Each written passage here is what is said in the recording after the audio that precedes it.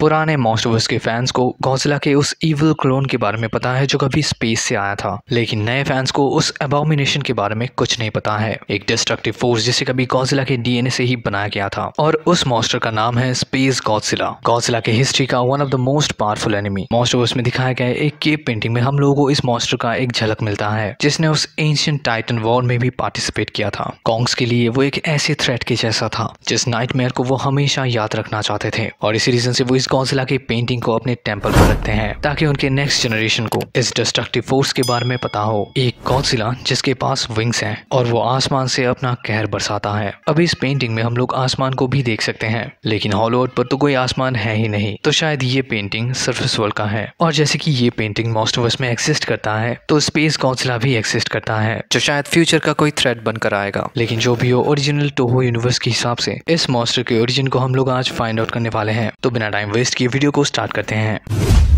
कुछ लोगों के हिसाब से स्पेस गॉन्सला से के मॉस्टवर्स का सबसे ग्रेटेस्ट टाइटन है। और शायद इसी रीजन से ये क्लासिक फैंस के लिए अब तक फ़ैन फेवरेट बना हुआ है। इस टाइटन का फ़र्स्ट अपीरियंस होता है 90s में। एक ऐसा टाइटन जो गॉन्सिला के फ्लैश और ब्लड से बना हुआ है, लेकिन उसका मोटिव इविल होता है। अगर इसके रियल ओरिजिन की बात की जाए तो फिर टोहो किंग गिटोरा के एक सुपीरियर वर्जन को बनाने वाला था, जिसका नाम होता एम्पर गिटोरा लेकिन गिटोरा को बहुत बार यूज़ किया गया था। Ghidorah King Ghidorah Mega King Ghidorah Shin King Ghidorah Monster X या फिर कैजर गिटोरा और और एक वर्जन इस कैरेक्टर के वैल्यू को गिरा रहा था। तो इसी रीजन से टोहो का टीम एक नया मॉन्स्टर बनाने का डिसाइड करते हैं। और ऐसे ही हम लोगों को मिलता है स्पेस गॉडजिला लेकिन इस कैरेक्टर के बहुत सारे कैरेक्टरिस्टिक्स किंग गिटोरा से सिमिलर थे। जैसे कि उसका फ़्लाइट एबिलिटी टीम अभी गौजिला के क्रिस्टल वर्जन को बनाना चाहते थे। कुछ डिज़ाइन के हिसाब से उसके पास विंग्स भी थे और कुछ डिज़ाइन के हिसाब से वो एक शेप शिफ्टर भी था। लेकिन फाइनल डिज़ाइन के हिसाब से वो गौजिला का एक अपग्रेडेड वर्जन था, जो गौजिला से बहुत ज़्यादा मैसिव था। क्योंकि उस टाइम पर इस गौजिला का हाइट था 393 फीट और वेट 80,000 टन गौजिला के हिस्ट्री का सबसे हैवीएस्ट मॉन्स्टर क्योंकि अपने एस्ट्रॉयड फॉर्म में उसका विथ होता है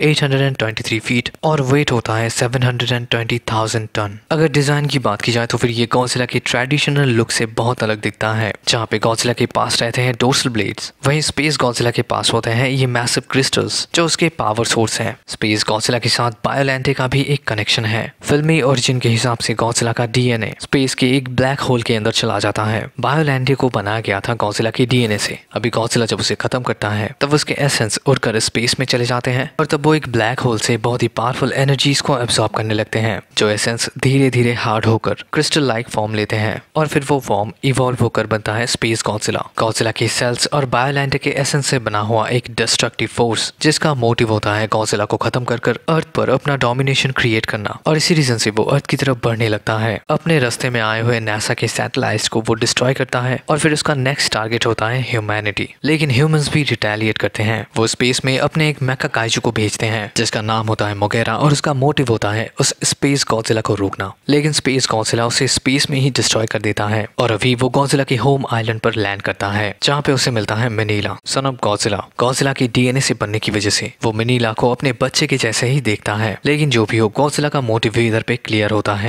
अपने इवल क्लोन को डिस्ट्रॉय करना और अपने किंगडम को बचा कर रखना। और यहीं पर हम लोग स्पेस गौजिला के पावर्स को फिटनेस करते हैं। वो अपने टेलीकनेटिक पावर्स का यूज़ करके मिनीला को एक क्रिस्टल टूम के अंदर कैद कर देता है। फिर वो अपने क्रिस्टल फोर्ट्रेस को बिल्ड करता है, जहाँ पे उसका पावर और भी ज़्यादा एनहेंस हो जाता है। लेकिन फाइनली गौजिला और मोगेरा का एक अपग्रेड वर्जन एक साथ टीम अप करते हैं और फिर ऐसे ही वो स्पेस गौजिला को डिफीट करते हैं। स्पेस गौजिला कोई फ़िज़िकल पावर हाउस तो नहीं था और ना ही वो कभी बनना चाहता था, क्योंकि उसके पास वराइटीज ऑफ़ पावर्स थे, जैसे कि उसका फोटोन शील्ड जो अपने ओपोनेंट के अटैक्स को उसी ओपोनेंट के डायरेक्शन में भेज देता है। Telekinetic power photon wind blast gravity tornado और उसका फ़्लाइट एबिलिटी जिससे वो स्पेस में भी जा सकता है। फिर जियो जिससे वो अपने आसपास के इलाके को ट्रांसफॉर्म कर सकता है, अपने हिसाब से ढाल सकता है, ताकि वो इसे एक शील्ड की तरह यूज़ कर सके। वो इन क्रिस्टल से अपने एनिमीज के ऊपर अटैक कर सकता है और फिर उसका पावरफुल कोरोना बीम जो उसे कौंसला के यूनिवर्स का one of the most powerful kaiju बनाता है। लेकिन इतने पावरफुल मॉन्स्टर्स के पास कुछ वीकनेस भी है। जैसे कि वो इतना ज़्यादा हैवी है कि उसे मूव करने में थोड़ा टाइम लगता है और वो कोई फ़िज़िकल फाइटर नहीं है। वो बस एक पावर हाउस के जैसा है, जिसके उन क्रिस्टल्स को अगर डिस्ट्रॉय कर दिया जाए तो फिर उसके पास और कुछ नहीं बचता है। और शायद इसी रीजन से वो गौजिला और मुगेरा के कंबाइन पावर से कमज़ोर पड़ जाता है। लेकिन मोस्ट ऑफ़ इसमें जैसे कि ये केप पेंटिंग एग्जिस्ट करता है तो शायद कोई गौजिला स्पेस से आया था। लेकिन उसके साथ क्या हुआ? ये एक मिस्ट्री है। तो यही है वीडियो गौजिला के उस इवल क्लोन के बारे में, जो कभी स्पेस से आया था। वीडियो कैसा लगा? कमेंट में ज़रूर बताना। और मिलते हैं आपसे अगले वीडियो में। Till take care and peace out